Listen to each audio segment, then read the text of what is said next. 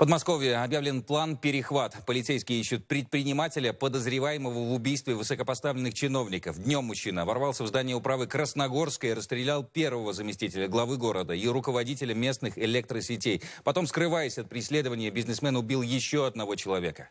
Наш корреспондент Константин Крылов работает на месте событий в Красногорске и выходит на прямую связь. Костя, здравствуйте. Что удалось выяснить к этому часу? Да, Галина, Юрий, здравствуйте. Э, действительно, подмосковный Красногорск пребывает в состоянии шока, э, вспоминая о сегодняшнем двойном или даже, может быть, тройном убийстве, особенно учитывая, в, каком, в каких обстоятельствах оно было совершено. Сейчас на улицах дежурят усиленные наряды полиции, э, проводится проверка транспортных средств, и так как преступника, насколько нам известно, все еще пытаются поймать. Напомню, что сегодня прямо у себя в кабинете, примерно в районе 14 часов, был застрелен заместитель главы администрации Красногорска Красногорского района э, Юрий Караулов и э, находившийся у него в это время руководитель красногорских электрических сетей э, Георгий Котлеренко. Давайте послушаем, что говорят местные жители. Ну, сами, как видите, город сейчас стоит на ушах, тем более. То есть даже сами все жители в шоке, потому что жители все пишут, и мне сейчас звонят. То есть. Потому что я ехал с правительства Московской области и должен был заехать к нему на прием тоже.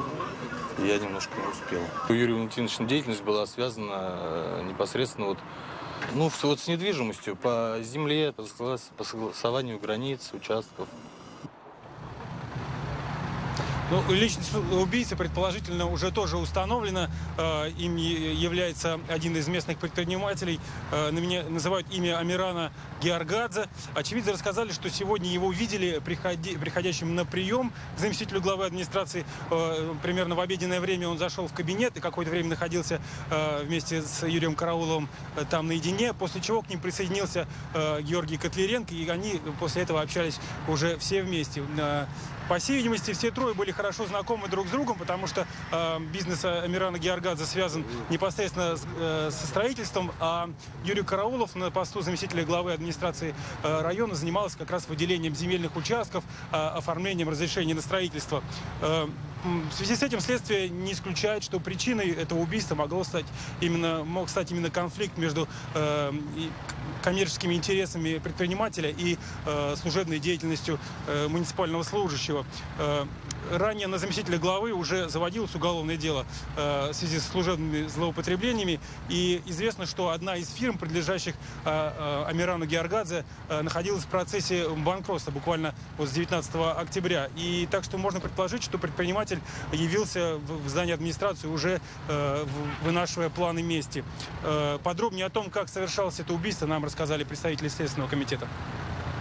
В начале Георгадзе Э, пытался выстрелить потерпевших из автомата или винтовки Сайга. Это сейчас выясняет следствие, который принес ему в кабинет его водитель. И только после того, как это оружие заклинило, Георгадзе использовал запасной вариант и расправился со своими оппонентами из пистолета, предположительно 9-миллиметрового калибра, а, произведя не менее 10 выстрелов, от которых э, те скончались на месте. Предполагаемый убийца вместе со своим сообщником, водителем, вероятно, э, скрылись на машине, на внедорожнике. Э, приметы этого автомобиля известны, и сейчас его разыскивают, но нам пока неизвестно, удалось ли их поймать. Уголовное дело заведено по статьям э, убийства двух и более лиц и незаконный оборот оружия. Расследованием занимается Следственный комитет. Мы следим за развитием событий, коллеги.